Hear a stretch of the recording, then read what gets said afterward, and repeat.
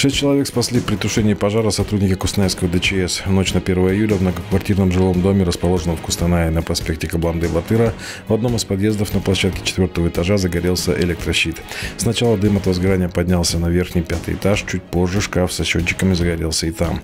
С помощью спасательных колпаков пожарные вывели из задымленных квартир шесть человек, в том числе троих детей, и успешно эвакуировали еще 40 жителей дома. В результате пожара никто не пострадал. Предварительной причиной возгорания стало замыкание электропроводки.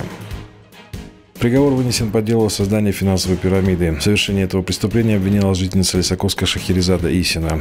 В результате ее действий, согласно обвинению, был причинен материальный ущерб в особо крупном размере 49 вкладчикам на общую сумму 86 миллионов тенге. В ходе процесса сама подсудимая вину не признала и заявляла, что является такой же пострадавшей, как и остальные. По словам адвоката потерпевших, действия Исины сказались не только на материальном благополучии людей, переживания отразились и на их здоровье.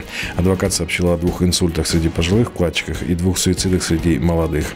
Суд счел вину Шахерезада истинной доказанной. Гособвинение просило наказать ее восьмью годами лишения свободы в колонии с режимом минимальной безопасности. Но в итоге назначено было 6 лет заключения.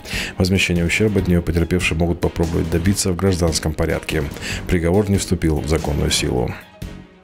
Дело о незаконном предпринимательстве пересмотрено в Кустанайском областном суде. Изначально 42-летний Алексей Елисеев обвинялся в том, что с помощью созданного сайта занялся обменом криптовалюты, имея преступный умысел на осуществление незаконного предпринимательства вопреки запрету, установленному законом об информатизации.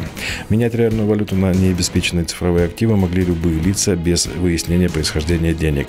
По первоначальной версии обвинения Елисеев в результате получил почти 6 миллиардов тенге. Суд первой инстанции счел, что обвинение смогло доказать незаконный оборот только 357 миллионов тенге. У Елисеева конфисковали компьютер, ему было назначено два года ограничения свободы. Но приговор был обжалован. Прокурор просил взыскать с Елисеева 5,8 миллиардов тенге и конфисковать автомобиль. Его защита просила отменить приговор.